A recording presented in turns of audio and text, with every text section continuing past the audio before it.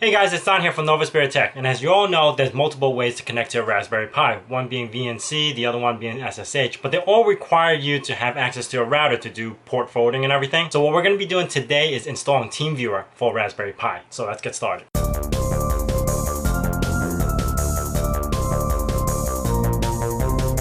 Now for this installation, I'm using a Raspberry Pi 3 with the latest Raspbian image and all the updates, and it's also hooked up to a monitor. You need to hook it up to a monitor just to get through a setup process. So I'm connected through my Raspberry Pi through VNC right now. That way I can record the desktop and show you guys what I'm doing.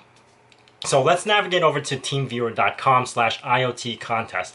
Now someone by the name of Luis Rayo, so he won the contest by coding TeamViewer to work with ARM devices, which is amazing. Now scroll down to the download section and hit that little download link. Once you get that deb file or the installation file, head over to the file manager up on the top left and then click on downloads. You're gonna see your installation file there. Right click and then click install.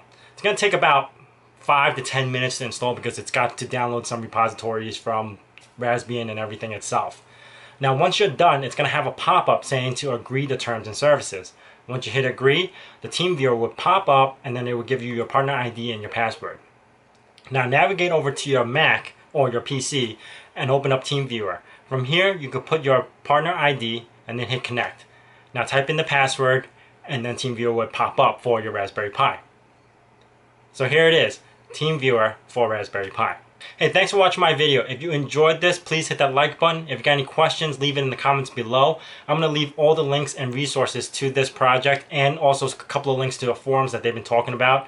I'm going to leave everything in the description box below. Now for the shout out of the week, got to check out this group of people called Hacker House. They do some pretty amazing projects on their YouTube channel. Um, the most recent one that I was watching was the Mirror Mirror where you put uh, Raspberry Pi, monitor, and a one-way mirror. You could basically see the calendar and your weather information and stuff like that. Go check them out, show your support, subscribe to their channel, and if you haven't done so already, subscribe to this channel where you get notifications when the next video is going to be out.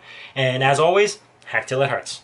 So guys, for those of you who want to see my super ghetto setup, check this out.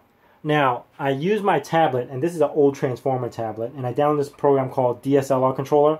That's what, that's basically my viewfinder for my um, DSLR. Now the problem is,